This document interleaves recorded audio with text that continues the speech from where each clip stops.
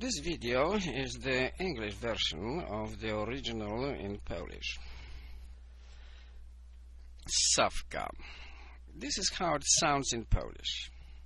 In English, something for similar purpose is called bee vacuum.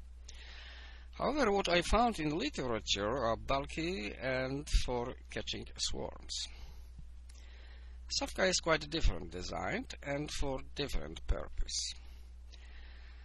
It could be used for catching swarms quite well if the swarm is not very large. However, with some adaptation, it could be used even for large swarms. Novices in beekeeping who already have one or two hives and want to have more hives will find this very useful, particularly in beekeeping in top bar hives I presented.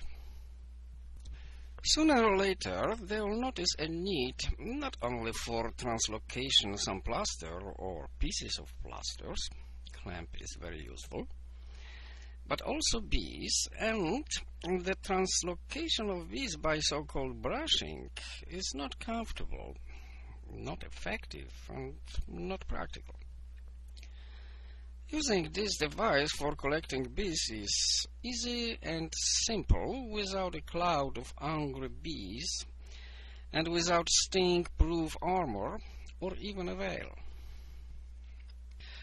Usually, there are two very basic necessities. One of it is adding bees to nuc in which we placed combs or pieces of combs with eggs to grow a new queen. And the second is when you want to add bees to young developing family in order to speed up uh, the process of development or to older family somehow deficient in bees for whatever reason. There is also the third situation, what I noticed thanks to this type of hive with window, in which Ssawka is very useful. Here it is. It is common phenomenon in honey bee hives that in certain time in late spring or summer there is abundance of bees. This phenomenon is easily observed in top bar hive if such hive has a window or even without it. In certain moment we will notice that bees are covering last combs with very thick layer, much more than what looks as normal. This is natural thing, the result of natural proliferating feature of bees, without which would be no bees and no honey. The next we will see is that suddenly there are significantly less bees in this hive and last combs are hardly covered with bees. This means that large part of bees departed together with queen. We know such thing as swarm. Beekeepers don't like it because these bees with queen are lost for them, usually. There are numerous ways and means to cope with it, described in literature, so if I add some more, it will not change things too much, generally. However, for top bar hives beekeepers, it could be helpful. Finding the critical day before swarm is very difficult in traditional hives. Top bar hive with window let observe what is going on inside and let decide fairly accurate with some experience in which moment to act before bees do it. Optimal procedure will certainly be discussed, but the first thing on my mind before such discussion starts was technical solution of collecting bees.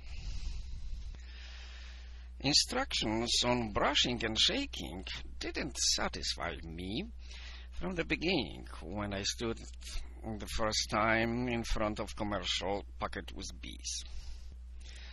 At that time, I had to think out a method I called of a little cardboard, which I described in part 1. Presently, standing in front of the matter of collecting bees from a hive, it was a challenge. In result emerged a specific device I call Ssawka. W in Polish is pronounced as a letter V.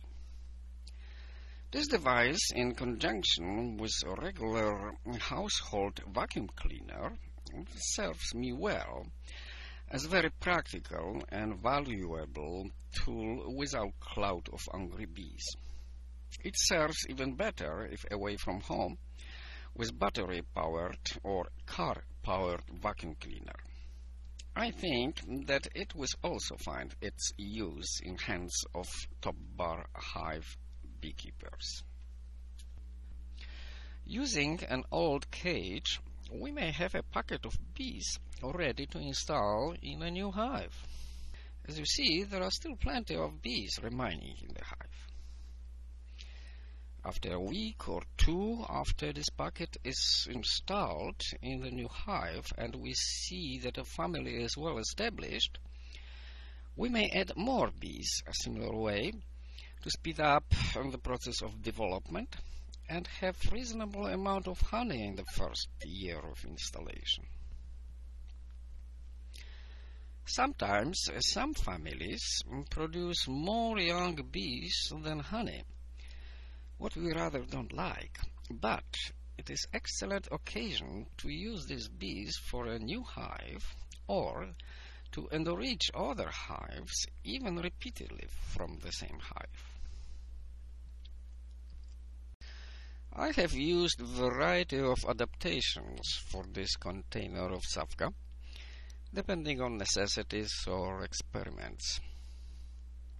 This container has wooden, very rough ceiling.